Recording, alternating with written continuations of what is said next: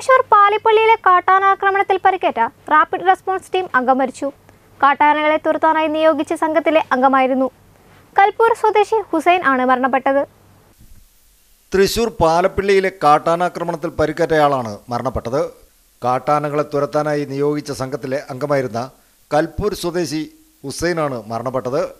കാട്ടാനകളുടെ ആക്രമണത്തിൽ പരിക്കേറ്റ ഹുസൈൻ ചികിത്സയിലായിരുന്നു. ഒരാഴ്ചയിലേറെ ചികിത്സയിൽ കഴിഞ്ഞ ഹുസൈന്റെ ആരോഗ്യനില ബുധനാഴ്ച രാത്രിയോടെ മോശമാവുകയായിരുന്നു.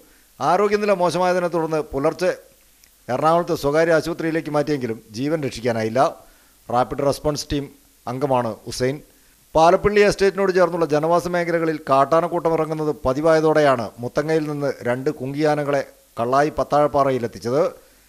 വെറ്റിനറി സർജൻ അരുൺ സക്രയുടെ നേതൃത്വത്തിൽ ആനപ്പാപ്പന്മാരുടെ പന്ത്രണ്ടംഗ സംഘമാണ് കുങ്കിയാനകൾക്കൊപ്പം ഉണ്ടായിരുന്നത്. ഈ സംഘത്തിൽ അംഗമായിരുന്നു മരണപ്പെട്ട Hussain. News bureau một cộng